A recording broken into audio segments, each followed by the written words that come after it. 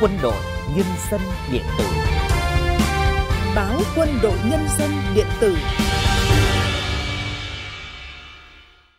Kính chào các đồng chí và các bạn. Đây là bản tin podcast quân sự quốc phòng của báo Quân đội Nhân dân. Tôi là Ngọc Trung. Tôi là Huyền Anh. Bản tin của chúng tôi được phát trên website www.qcnz.vn, nền tảng Spotify và kênh YouTube của báo Quân đội Nhân dân. Bản tin hôm nay ngày 11 tháng 11 năm 2000. Sáng 11 tháng 11, Đại tướng Phan Văn Giang, Ủy viên Bộ Chính trị, Phó Bí thư Quân ủy Trung ương, Bộ trưởng Bộ Quốc phòng đã tới tham dự Ngày hội Đại đoàn kết toàn dân tộc, Ngày hội văn hóa quân dân tại khu dân cư Bình Dân, xã Tân Dân, huyện Khoái Châu, tỉnh Hưng Yên. Tham dự ngày hội có các đồng chí Ủy viên Trung ương Đảng, đồng chí Nguyễn Hữu Nghĩa, Bí thư tỉnh ủy Hưng Yên, Thượng tướng Hoàng Xuân Chiến, Thứ trưởng Bộ Quốc phòng, Trung tướng Nguyễn Văn Gấu, Phó chủ nhiệm Tổng cục Chính trị Quân đội Nhân dân Việt Nam, Trung tướng Nguyễn Quang Ngọc, Tư lệnh Quân khu 3, Ngày hội Đại đoàn kết dân tộc là dịp để tôn vinh những giá trị truyền thống tốt đẹp của dân tộc.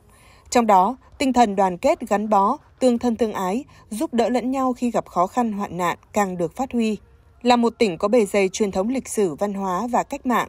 những năm qua, Hưng Yên đã phát huy tốt những giá trị vốn có. Nhiều địa phương trong tỉnh đạt chuẩn nông thôn mới nâng cao, nông thôn mới kiểu mẫu, quốc phòng an ninh được tăng cường, trật tự an toàn xã hội được bảo đảm, đời sống của nhân dân từng bước được cải thiện, tăng cường đoàn kết, gắn bó giữa các hộ gia đình, cùng nhau góp trí, góp công, góp sức, góp của, xây dựng khu dân cư văn minh, an toàn, giàu đẹp, bình yên.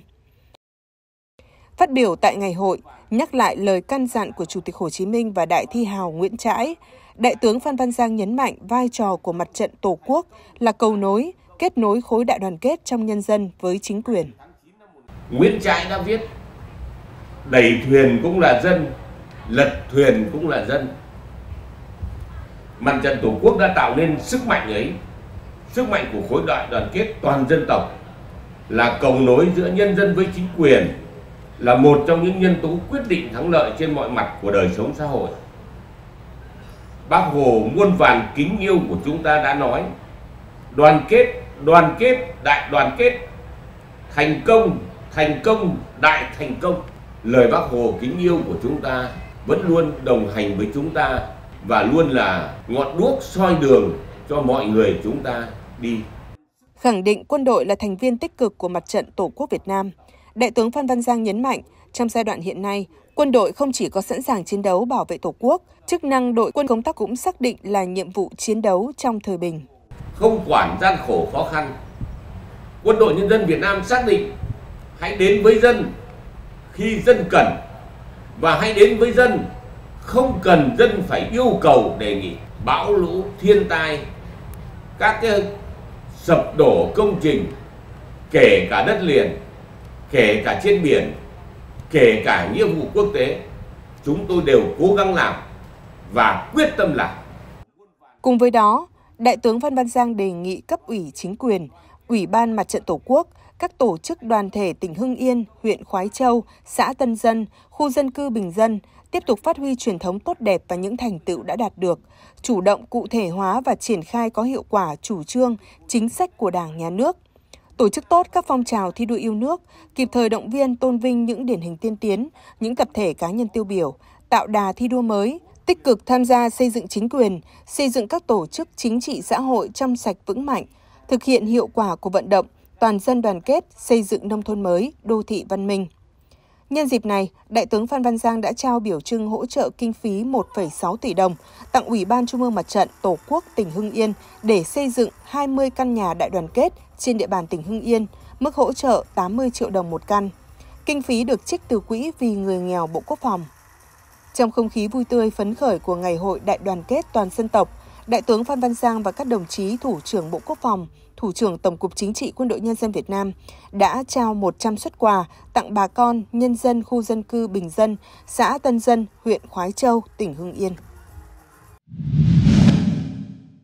Tại thành phố Cam Ranh, tỉnh Khánh Hòa, vùng 4 Hải quân đã tiến hành bàn giao ngư dân bị bệnh trên biển. Thuyền viên trên tàu cá BD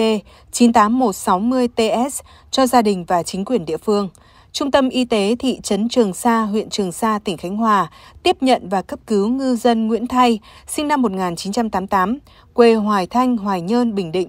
Bệnh nhân được đưa vào đảo trong tình trạng bất động, nhịn ăn. các bác sĩ trên đảo đã tiến hành thăm khám, chuẩn đoán viêm tụy cấp, theo dõi thể phù nề, tiến hành đặt sông dạ dày, thụt tháo hậu môn.